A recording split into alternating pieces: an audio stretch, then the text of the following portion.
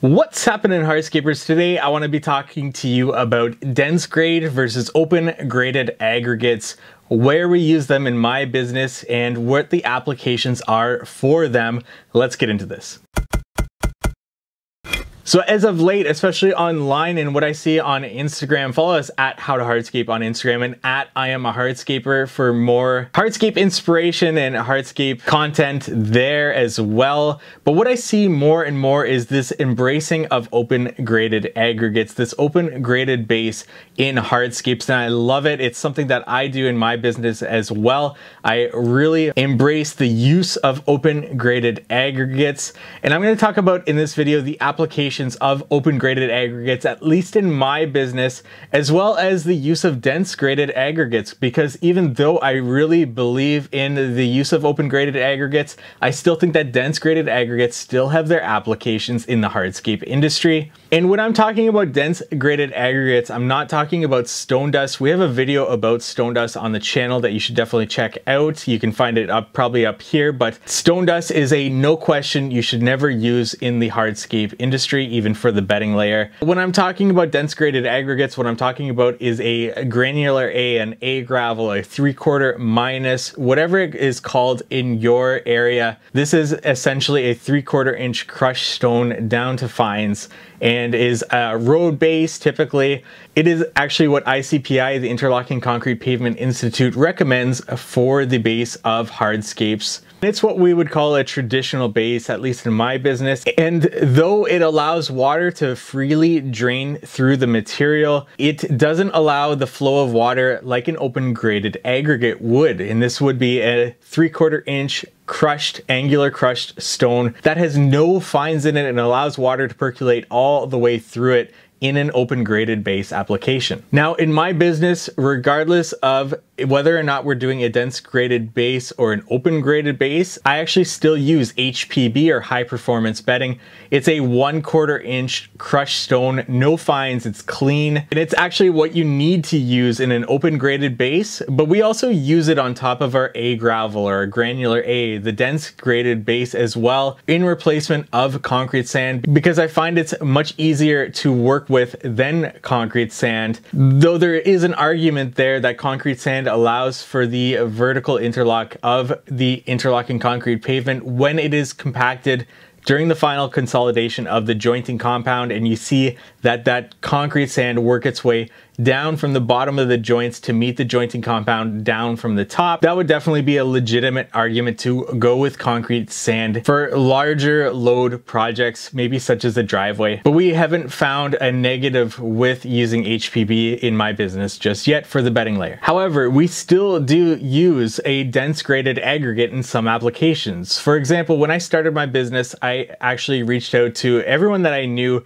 in the industry and in other complementary industries. For example, I knew some people that were in the asphalt business, and I know with the asphalt business, a lot of the times there's a interlock front walkway that needs to be either lifted and relayed or just completely redone. So I reached out to the people that I knew there, let them know I was starting a business and that I was more than willing to do that type of work for that front walkway after they've come in and done their project. Now, asphalt companies use a dense graded aggregate for their base, an A gravel road base. So it makes more sense for those front walkways to be done with also a dense graded aggregate to tie into that driveway rather than an open graded base. So in those applications, that's when we're going to use a dense graded aggregate for a front walkway. Now, if it's a raised front walkway, then we're going to go with an open graded base and we're going to drain that water away from the driveway. That makes it through the system and down to our subgrade.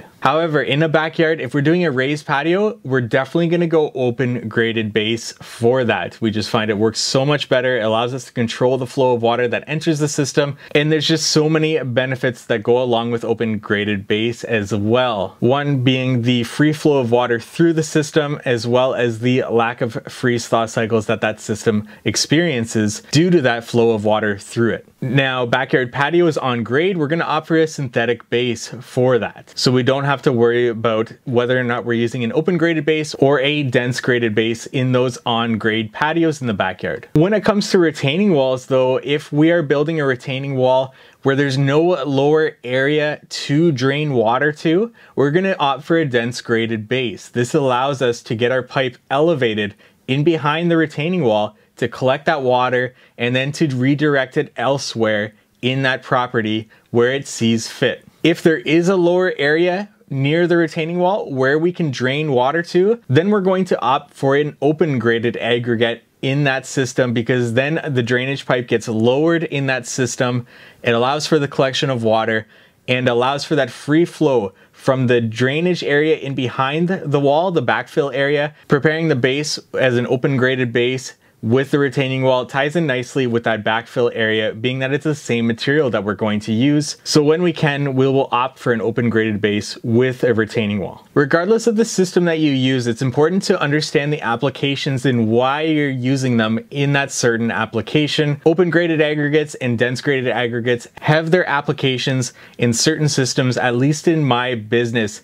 If you differ in any way, leave a comment below. Let me know what you use in certain applications and why. I'd love to open up a conversation about this and to talk further with you about what you do in your business and why. Regardless of the aggregate that you're using, you wanna make sure that these are angular crushed stones, that there's no rounds in that aggregate because you won't get the same lockup when it comes to compacting them. And even with open graded aggregates, you do need to compact them. A lot of times it gets talked about that it's 90 plus percent compacted just by dumping it out, but this is not the case. It still does require the same amount of compaction that a dense graded aggregate would. It's just a different type of compaction because you're essentially reorienting the angular crushed stone rather than compacting the dense graded aggregate using water to be able to get that optimal compaction rate for that dense graded aggregate. Like I've said in this video, there's no one way better than the other. I believe that each of them has their own applications, but if you haven't yet checked out Open Graded Base, now's the time to and to see if it works well in your business for the applications that you are installing. There's so many benefits that go along with this, and later in the season, I'll be doing an Open Graded Base video on this channel, so be sure to be subscribed to this channel for more hardscaping content like that, as well as we've established a membership community where we've got courses on interlocking concrete pavement, different base preparation methods, techniques, tools, equipment, everything that you need to know about with installing interlocking concrete pavement as well as segmental retaining walls, features, and the basics of running your business with knowing your numbers and so much more. So if you want to join that, the link is in the description below as well to our membership community. If you found this video at all helpful, a like really goes a long way. I would appreciate that so much.